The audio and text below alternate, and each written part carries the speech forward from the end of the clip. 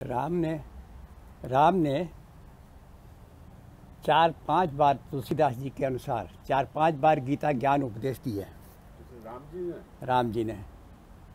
तो एक तो अरण्य कांड में है वो लक्ष्मण को उपदेश दिया है। एक लंगा कांड में है विभीषण को। तो इस समय मैं विभीषण वाली बात कर रहा हूँ दशहरा निकल गया। रावण रथी विजय विरत रघुवीरा, देख विभीषण भयऊ अधीरा। वो जो विभीषण ने देखा कि रावण तो जो है रथ पर बैठा हुआ है और जो रामचंद्र जी हैं पैदल और उसे जूते भी नहीं है पैर में और कवच भी नहीं है नंगे वो वैसे ही था कोई राजकीय वस्तु तो था नहीं उनके पास कुछ भी। तो कहने लगे तो भी अब अधीर हो गया, ये कैसे जीतेंगे रावण को? रावण तो एकदम सज धस के लड़ने आया है। अधिक प्रीति, मन भा संदेहा, बंदी चरण कह सहित स्नेहा। राम से इतना ज़्यादा अटैचमेंट था, इतना प्रेम था राम का तो बड़े वंदना करके बहुत प्रेम से बोला, नाथ नरथ नहीं तन, पद त्राणा के ही विध जितब वीर बलवाना। हे भगवान न तो कोई रथ है न पद में त्राणा पद में कोई जूते पैर में जूते भी नहीं हैं। और तन भी नंगा है तन पद को ढका में नहीं है। आप कैसे जीतोगे? महाबली को। हाँ।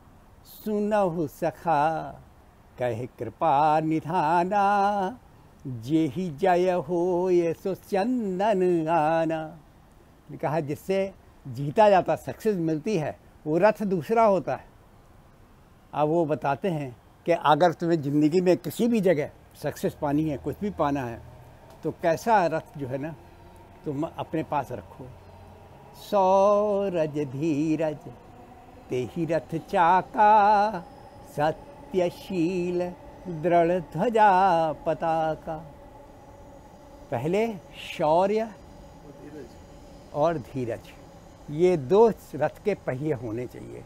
तुम्हारे अंदर शौर्य होना चाहिए और धैर्य होना चाहिए। मतलब मन भी डिस्टर्ब नहीं होना चाहिए। मतलब अगर आपका मन डिस्टर्ब हो गया तो आप गए। और शौर्य तो होना ही चाहिए। पहले से ताकत तो अपने पास होनी चाहिए। तो तुम्हारे अंदर शौर्य होना चाहिए और धीर धैर्य होना चाहिए। ये रथ के दो पहिए हैं। अगर ये दोनों हैं, समझे? और सत्यशील और आपके अंदर कन्विक्शन होना चाहिए सत्य का। आप कोई चीज़ बोलते हो, अगर वहाँ पे कन्विक्शन है, आप बोलते हो, मैं सत्य कह रहा हूँ कन्विक्शन है तो बहुत बड़ी बड़ी अगर आप ढोल, ढील बोल रहे हो तो कुछ नहीं कर सकते। और इसी तरह शील, आपका जो बिहेवियर दूसरों के प्रति, जो आपके मदद कर रहे हैं, जो सेना, जो और लोग हैं, शील और दूसरे से भी, आपका जो शील है, जो आचरण है, आपका जो शिष्टाचार है वो आपके ध्वजा पताका है। वही ऐसे समय में रक्षा करते हैं जब आप प्रॉब्लम में आते हैं। तो सबसे बड़ी ये शौर्य और धैर्य और सत्य और शील ये बहुत इंपॉर्टेंट है कि मतलब आदमी जो से अपनी जितना प्रॉब्लम क्रिएट करता है, इनको खो के ही क्रिएट करता है। सौरभ धीर, सौर धीरज, तेहिरथ चाका, सत्यशील दृढ़ ध्वजा पताका। बल विवेक दम परहित घोरे, क्षमा, कृपा, समता, रज जोरे। उसने कहा, चार घोड़े लगे हैं उस रथ में। वो कौन से चार घोड़े हैं? बल। आपके अंदर ताकत तो होनी चाहिए, सबसे बड़ी चीज़ है। विवेक, आपको बुद्धि जो है, सीधा रचल करे। मतलब हमेशा हमें ध्यान रखना चाहिए कि विवेक हमारा कैसे काम करता है। कि आपके जो अनकॉन्शस माइंड से सब कॉन्शस माइंड में जो चीज़ें आती जाती हैं, आती रहती हैं, वो स्टोर हो जाती है आपके मेमोरी में। और आप जब भी कोई प्रेजेंट सिचुएशन में आते हो अब युद्ध में तो प्रेजेंट सिचुएशन में एकदम एक्ट करना है। उस समय आपका जो मन है, जो बुद्धि है, वो क्या करेगी? जो मेमोरी में स्टोर्ड है उससे सिचुएशन को कंपेयर करेगी और लॉजिक और लॉजिक और जुडिशियन बताएगी, उसी से बताएगी। तो इस, इसलिए संस्कार के जो है इम्पोर्टेंस ज़्यादा है। कहते हैं, उनका बेटा बड़ा संस्कारी है। संस्कारी इसी सेंस में कि आपने बचपन से जैसा किया यू आर रोल मॉडल वैसे ही उसमें। इसी तरीके से आप जिस एनवायरनमेंट में रहे, जैसा आपने किया, जैसे लोगों के साथ रहे, वैसे ही आपका जो है मेमोरी स्टोर हो गई। और उससे आप जो कंपेयर करते विवेक वहीं पे काम करता है। बल विवेक दम। दम मीन्स अपने आप को कंट्रोल में रखना आना चाहिए तुम्हें। दम, सबसे पहले कि ये नहीं यार, हमारा मन आ गया, हमने ये कर लिया। नहीं, तुम्हें अपने ऊपर कंट्रोल दमन, अपने को अपने को दमन करना आना चाहिए, तब दम आपका, अब दम आपका बढ़ेगा। तभी दम बढ़ेगा जब आपको अपने ऊपर कंट्रोल होगा। और अपने ऊपर ही कंट्रोल नहीं तो खुद ही गिर जाओगे, खुद ही परेशान रहोगे। तो अपने ऊपर कंट्रोल दम। पर हित घोरे, और तुमने जो दूसरों की भलाई करी है वही तुम्हारी मदद करेंगे। तो चार घोड़े कौन से हैं? बल, विवेक, दम पर हित घोरे अगर तुमने किसी को भलाई नहीं की तो तुम्हें भी कोई भलाई करने को आएगा नहीं। बेशक वो न करे, दूसरा आएगा, लेकिन अगर तुम्हारी टेंडेंसी भला करने की है तो तभी तभी तुम्हें दूसरे भी हेल्प करेंगे। तो ये ये घोड़े हैं। क्षमा, कृपा, समता रजु जोरे और रस्सी जो आपके जो उससे बांधे हैं घोड़े को किससे बांधे हैं? क्षमा। अगर आप कोई बात स्टिक करके बैठ गए तो बेकार है।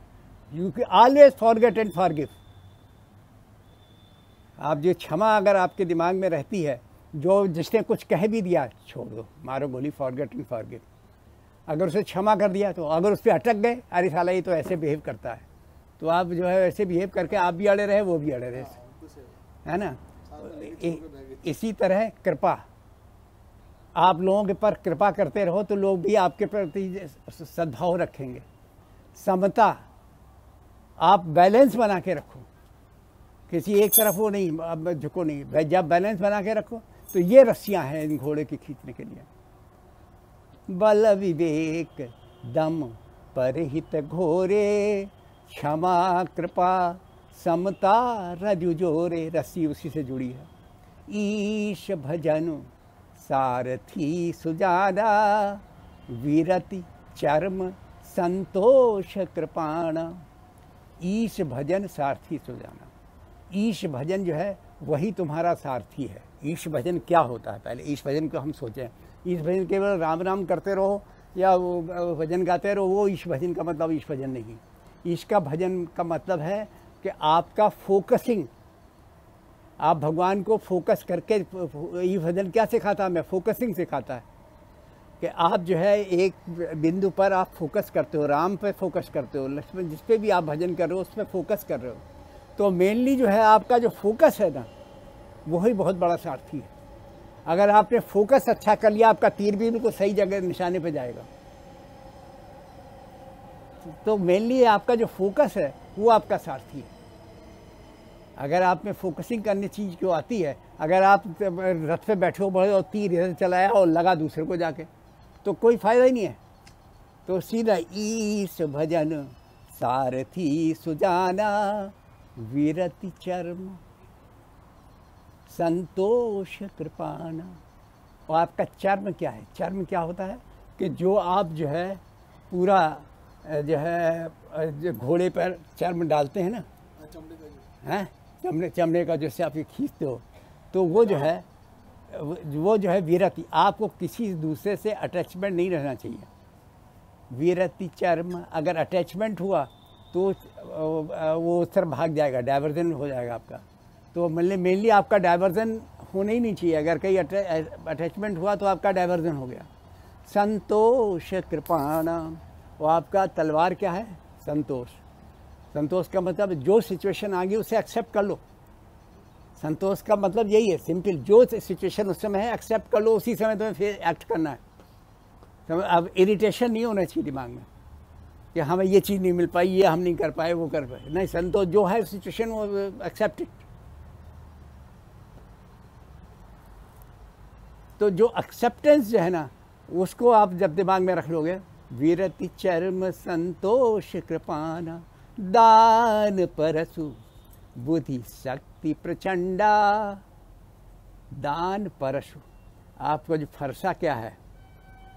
दान जो आपने दिया है लोगों को हाँ अगर आपने लोगों को दिया है डोनेट किया है लोगों को तो सबके सबके सब जो है तुम्हारे वो तुम्हारे परसे की तरह आ जाएँगे तुम्हारे प्रोटेक्शन में। और तो तुम जो है वही तुम्हारा सबसे बड़ा हथियार है।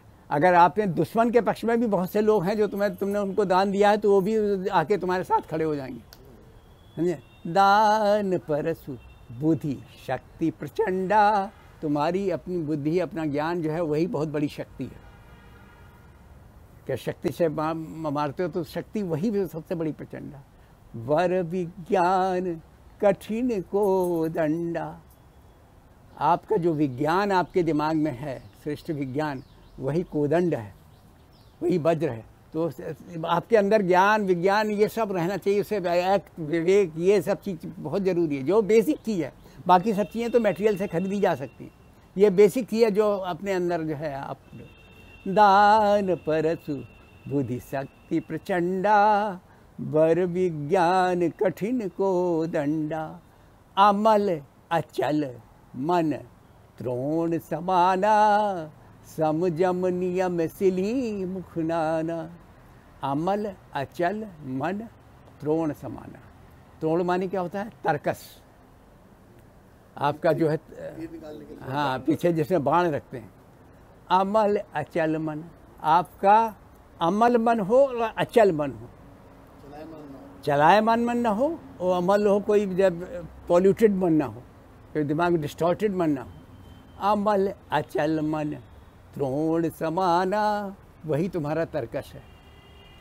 सम, जम, नियम, आपने अब बैलेंसिंग आप कितने बैलेंस रहते हो? और यम का मतलब है, आप अपने को कितना कंट्रोल कर सकते हो? कहते आप संयम यम, कितना संयम कर सकते हो? और नियम कि आपने रूल बना रखे, इसी रूल के हिसाब से चल रहे हो। आपने कुछ पॉइंट्स बना रखे हैं, जिसके रूल्स के हिसाब से है। सम, जम नियम सिली मुखनाना वही बाण है। ये सब मिसाइल्स हैं जो तुम छोड़ते हो। क्योंकि मिसाइल जितना कंट्रोल में रहे और उसके पर्टिकुलर रूल्स रहे उस रूल्स पर ऐसा होगा तो हम ऐसा छोड़ेंगे। अपने अपने रूल्स बना लिए ऐसा होगा तो ऐसा करेंगे। सम जम नियम सिली मुखनाना कवच अभेद विप्र कुर पूजा यही सम विजय उपाय न दूजा।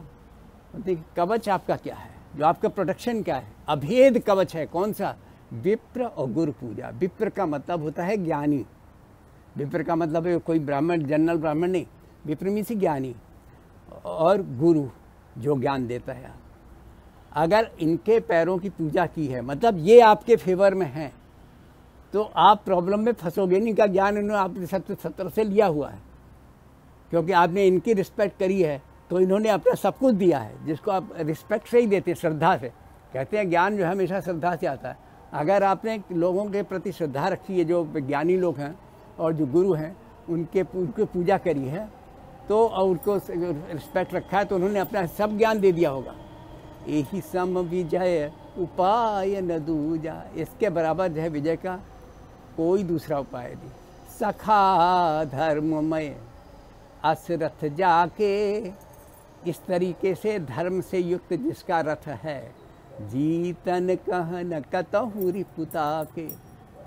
सखा धर्म में असरथ जाके जीतन कहन कपहू पुता के। उसके कोई शत्रु नहीं होगा। वो अपने को मानेगा भी नहीं शत्रु। आप लड़ना भी पड़ रहा है, तब भी आप उसको शत्रु नहीं मान रहे हो। उसका कोई शत्रु नहीं होगा। उसका भी आप, उसको भी आप कल्याण करना चाहोगे। तो अगर धर्म में ऐसा रथ है, महाजय संसार रिपु। जीत सके सो वीर, जाके असरथ हो ये दृढ़। सुनहु सखा मत धीर। ये जो संसार है, यही महा अजय रिपु है। ये संसार सारा ही का सारा जो है, वो अजय रिपु है, जिसको जीतना बड़ा मुश्किल होता है। क्योंकि संसार में आदमी बंध जाता है। बहुत सारी चीज़ें जो हम उससे अटैच हो जाते हैं उससे। तो वही सबसे, जीत सके सो वीर। अगर आपने अपने मन को जीत के संसार में अटैचमेंट नहीं रहे, उसी को जीत लो अगर तुम। जाके असरथ हो, ये दृढ़ सुनहु सखा मत धीर। जिसका भी ऐसा रथ हो तो वो तो हमेशा भाई सुनी प्रभु बचन विभीषण। हरस कहे पद कंज। यही में से मोहि उपदेश राम कृपा सुख पुंज। तो फिर विभीषण ने उनके चरण पकड़ लिए। भगवान, आपने चलो, हमने क्वेश्चन किया, इसी प्रश्न किया, इसी बहाने आपने हमें इतना जो है ज्ञान दे दिया। कम से कम इससे बढ़िया तो कम से कम हमें ये फ़ायदा हो गया कि हमें ज्ञान तो मिला। बेसिकली चीज़ यही है कि हम उनको समझें और उसको